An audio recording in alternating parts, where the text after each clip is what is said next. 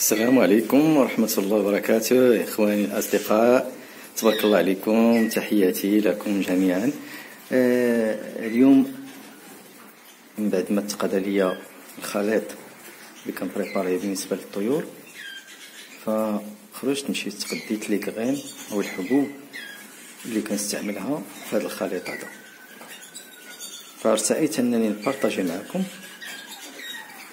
آه، النسبة المئوية ديال الحبوب وكذلك الحبوب المتنوعة اللي كنقدمها في الخليط ديال الحبوب للطيور ف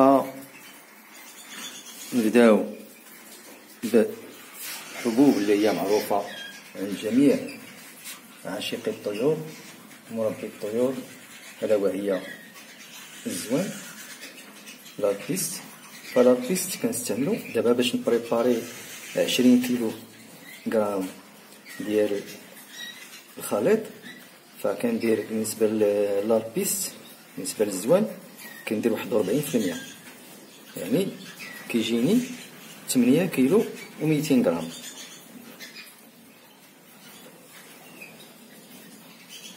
بالنسبة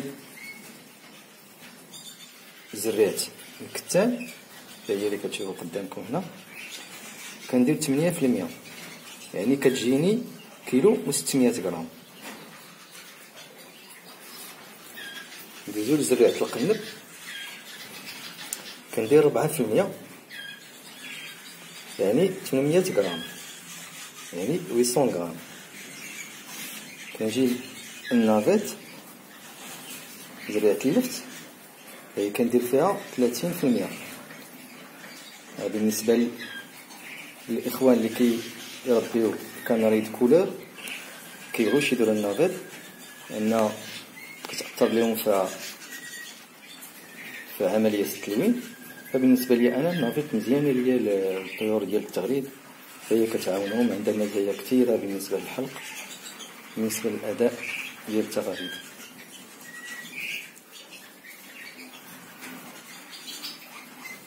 كندوزو الزريعه ديال الخلا أو لي غرين سوفاج كندير فيها جوج في المية. يعني ربعمية غرام.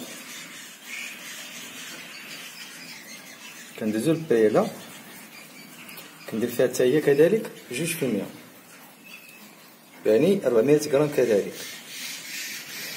بالنسبة للخرطان كندير فيها ستة في المية يعني كيلو وميتين غرام. النيجر كندير فيه سبعة في المية يعني كيلو وربعمية غرام.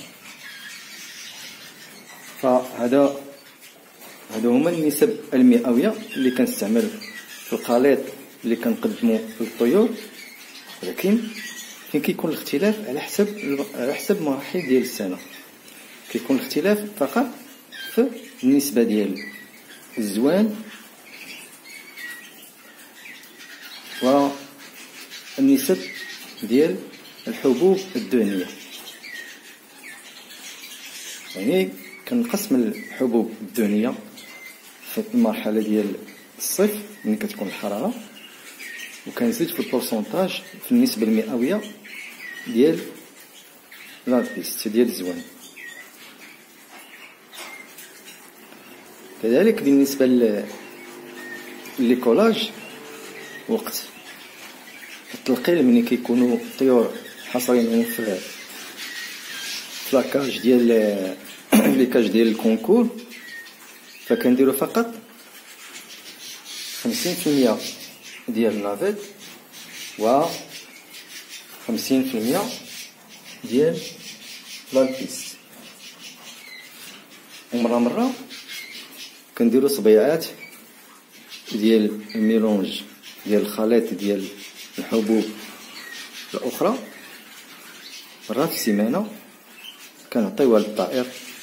صبيع كنديرو في في قلت لكم خبيز كنديرو كنديرو براكاج ديال ليكولاج وكنعطيوها للطائر. انوي باش ينوع شوية.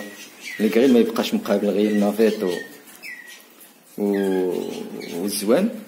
فكنوعلو شوية باش يستافد كذلك من الفيتامينات ومن المواد الاخرى المهمة اللي كتواجد في هاد الحبوب.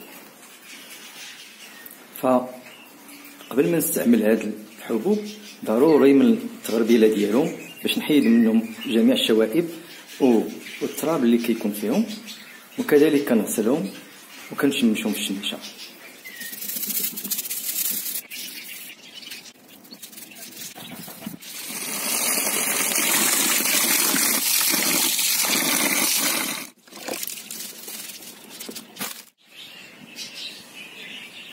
أخيرا كملنا الخليط ديالنا.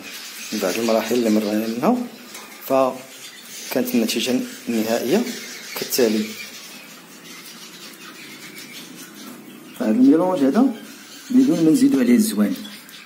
لأن هنا في هاد الصورة هادي كما كتشوفوا كاينين ستة ديال المقاييس ديال الزوان يعني ستين في المية على ربعة في المية. ديال الخليط ديال الحبوب الأخرى. هادي نقدم عليهم في فصل الصيف ملي كتكون الحرارة.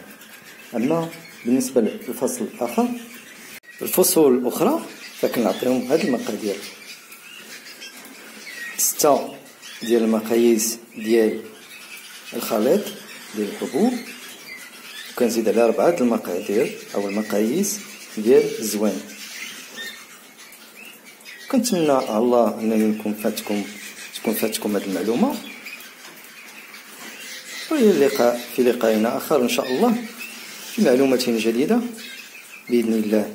والسلام عليكم ورحمة الله وبركاته.